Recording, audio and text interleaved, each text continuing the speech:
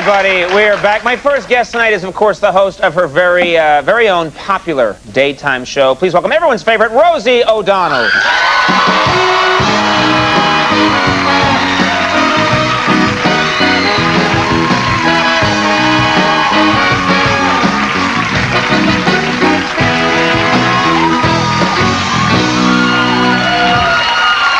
Hi, Conan. Hi, how are you, Rosie? Good. I, I brought a little prop with me. What is that? Well, this is something that I saw at the sale rack at Target. Target. Yes, this week, about three weekends ago, I was there.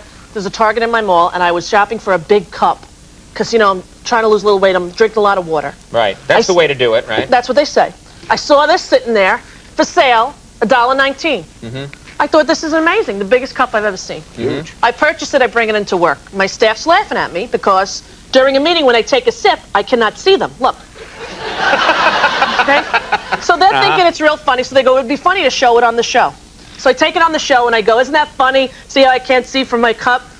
And people start writing in. Apparently, uh, people thought it was a vase.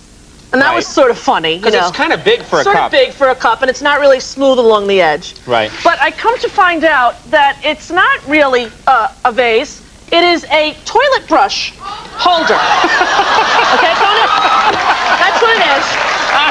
A toilet brush holder that was without the cap that I have been using for the last three weeks as a drinking cup. And can I tell you, ever since I found out, the water doesn't taste quite the same. No. Do you know what I mean? It was very humiliating. Oh, I let's just hope it hadn't been returned. Yeah. Uh, Exactly. That's what someone said. Can you imagine that? Someone used it and put it back on the sale rack and this isn't quite the right color. no, not really. But Oh. bad news for That me. is very bad. It was bad. You got over it, though. I did, and I still use it because I can't really admit defeat. You know, No, I, I can't no. act like I made a huge error. I'm like, I knew it was that when I bought it, and I don't Right. mind it. I, I like drinking from it. So you, you you stir the drink with a brush oh now. yeah, right? you know, get a little martini mix going, shaken, not stirred. You know, pour for friends. It's Sure. really enjoyable. I think oh you, yeah. you're onto something You're not here. kidding. You're not kidding. You also.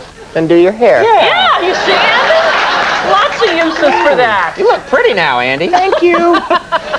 You're, uh, you know, we, we you, you talk a lot about your. I I talk about my family a lot. I come from big Irish family, Right. and I know that you talk about your family a lot, and you talk about your dad. Right. And I wanted to ask you because you portray him as maybe not being the sharpest knife in the drawer. Is that fair? He's, he is a stupid guy, Conan. Oh, there you go. He is- Okay. He's not really. He's trying to got be polite about it. but- Well, he knows. He's got a thick Irish brogue. My father's from Tyrone. And uh, when I was a kid, my friends used to make fun of him. And he never even realized it. You know, they'd call my house and he'd answer the phone. Hello, who do you want to speak to? And my friends would say, always after me, Lucky Charms. The faster don't chill, sweet surprises. And he'd be like, slow down, sweetheart. And I'd see a message where, you know, he's like, green clovers, they're magically delicious. All right, she'll call you back, love. She'll call you back. oh, And I'd see notes on the refrigerator like, you know, Ro, Jackie called, said, manly, yes, but I like it too. and he would always think it was a code. You know, he'd say to me, mm-hmm. what you doing, you kids? You're taking the pot, aren't you, darling? Are you taking pot? Don't you be taking the pot in my house. He was very concerned about the pot. really? I like how he calls it the pot. Exactly. It's not just pot; it's the pot. Well, and it was the transportation of the marijuana that was paramount to him. Don't you be taking the pot. He wanted to know if you were taking pot, you know? Uh-huh. Right, Yeah. right. And uh, he's, he's not the smartest guy. I bought him a phone answering machine Mm-hmm. a few years ago for Christmas. And when you call to leave a message at his house, it's like, ring, ring. Ah, damn it, Mary, come over here and see if you can leave a message on the bed. no idea how Poor to use man. it. No. And poor I, But man. you know, I like to taunt him, Conan. I Uh-huh. taunt him once a year. I call up his machine. I know he's not home, and I'll leave a message. Uh, this is uh, Rosie. I'm looking for Don. I'm trying to buy some pot. Uh, is this the right number? Can you call me? And he calls me up screaming. Now I've got it on tape, you big pot taker! Out there in Hollywood, you pot taker! Take that pot. He's very concerned. Now you uh, you mentioned you're you're you're you're trying to lose some weight. You've been exercising a lot. I've been doing that. Yeah, I've been doing the little thing. It's fun, you know. You got to do it. You got to work out. I did pull my back muscle. You ever have a sciatica thing? No, I've never had back stuff, but I've had other stuff. No, when you when you work out, that's what happens. Yeah, I didn't know that because I hadn't been working out, and I really went full gusto during the summer, and I actually had a sciatica thing, and so this masseuse told me you should use ice on it, right? So one night I'm watching TV, I put the ice on my sciatic part, right, my hip, hiney, butt combination area. And Those um, complicated scientific terms you're throwing me. Exactly. And I, I put it on there, and it was feeling good. It was nice and numb, and I was Mm-hmm. feeling better. So I thought, I'm going to get another ice pack and just tuck one in there as I fall asleep watching Mm-hmm. your program. So I go to the freezer. I go and I grab the... It'll put you to sleep, yeah. Well, you know, it's late. Yeah, sure. So I grab the um, ice pack, and I notice it doesn't look like the other ice pack. It was the ice pack that I got from purchasing meat at Citarella, which is a meat store here. And it was a thick, dry ice ice pack to freeze your meat, not to put on your hiney. Right. I didn't realize this. Mm-hmm. I put it right on the hiney, which was already numb, fell asleep, woke up at 3 in the morning, and I thought, oh, that's weird. I forgot to take the ice pack. I threw the ice pack down and went back asleep, and I'm like, oh, geez, I didn't remember putting two. And I reached back, and the exact shape of that ice pack was my frozen ass. It was red. It was raised two inches off the. It looked. It felt like a handle. You could just lift and move me with the ice pack indentation. It was not, and it stayed that way for about two weeks. And I had to go to the doctor. Uh-huh. Very embarrassing. What did he light a fire near it? What did he do? Well, he, he said you have you have frostbite on your ass. Then he said to me, he said, "Were you mountain climbing?"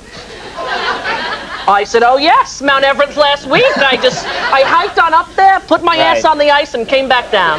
You know, but I had frostbite. Literally, I had to put cortisone Oh. cream on it. Oh, you're better now, though. I'm better. It's not pretty. There is a scar, but You had you had did any fun this summer at all? Did you go anywhere? Did yeah, you do anything? I spent the whole summer in Miami. oh, that's great. Yeah, we get the whole summer off, which Right. is good for us. And you know, I like to rescue people. I told you that, right? You've said that before. you know, I'm a big rescue person. I love Rescue 911. I love danger and then me saving people. So I was on my uh, boat with my children and some friends and their children, a whole bunch of us on the mm-hmm. boat. And I'm showing them the sea turtles and the dolphins, and I see a shark. I see like a nine foot shark lumbering. Must be an injured shark, I'm thinking, because it's not moving very fast, but still very dangerous close to shore. Sure, shark. Yeah. Uh, yeah, I'm like, everybody, get back! Go to the back of the boat! Leave this to me! I get on my CB radio, Coast Guard emergency channel, and I'm bragging because mm-hmm. I'm about to rescue people. This is Rosie O'Donnell, Coast Guard, come in. Rosie O'Donnell, come in. They're like, uh, yeah, copy. Who? Rosie O'Donnell from the TV show. Are you familiar with my work? uh, yeah, what the hell you want, Rosie? Okay, I am right outside of South Beach, and there is a huge man-eating shark. I have visual contact with the shark. Visual contact. Copy. Visual contact. Uh, yeah, Rosie, can you describe the shark for me, sweetheart? Yes, sir, I can. Back, everyone, back!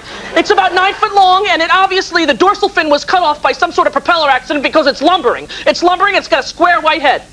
Yeah, Rosie, uh, that's a manatee, sweetheart. The friendliest fish in the sea. A manatee!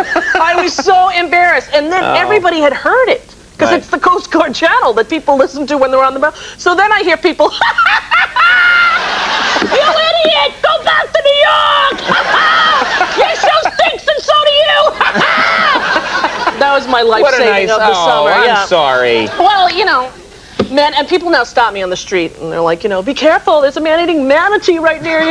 Yeah, it might hug you to death. Yeah. Exactly. You, uh, we should mention this. This is kind of exciting, and I, this is a, they've come out with a. Uh, the Barbie people have come out with a Rosie O'Donnell doll. Hard to believe. Yeah. Friend of Barbie. Look at. Oh, you're friend of Barbie. I am Rosie, friend of Barbie. okay, let's get a shot of that. This is not a bad likeness, though. They're not kidding. It's the first full-figured Barbie. In all honesty, it is. Because they, they called me and asked if I wanted to be a Barbie, and I said only if you make the waist go straight down, no Mm-hmm. indents, and if the thigh and arms are twice the size of the regular Barbie, Oh. and if you give me a little double chin, and they did. so we're in. There it is. Comes complete with manatee. I understand. It does. Yeah. Yes, it does. I, uh, you know, I've been trying to market this, and no one's buying it. I've tried and tried through the GI Joe people. Oh yeah, It's not. that's nice. though. that's nice. It, I can just picture the sad kid like, "Hello, Rosie. Hello, Conan. We're both on TV." Oh, that poor kid. But what is that one made out of? This one? Yeah. That's white chocolate. No, come Yeah, on. enjoy that. It's like, oh, that's very nice. Isn't that nice? Yeah, the hair's not right though. It has to be a little boofier. Yeah. Don't you think? Yeah. Well, you there's got the little- There's a knob you turn on the back that And the hair out goes the hair. up. Yeah. Yeah. Like beautiful hair, Crissy. Yeah. Those will be all the rage for Christmas. You watch. Beautiful Furby hair, baby. Coney. That'll be nice. uh, well, of course, the uh, the Rosie O'Donnell Show on weekdays. Check your local listings. Rosie, it's always a blast when you come by. Thank you so much for Thanks doing for it. having me, Conan. Thank you. Really. Bye-bye. Rosie O'Donnell, everybody. Serena Williams is coming up in just a bit. We'll be right back.